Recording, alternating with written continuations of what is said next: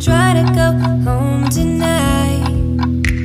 It's all up to you if you try to come through, or you gotta make a move.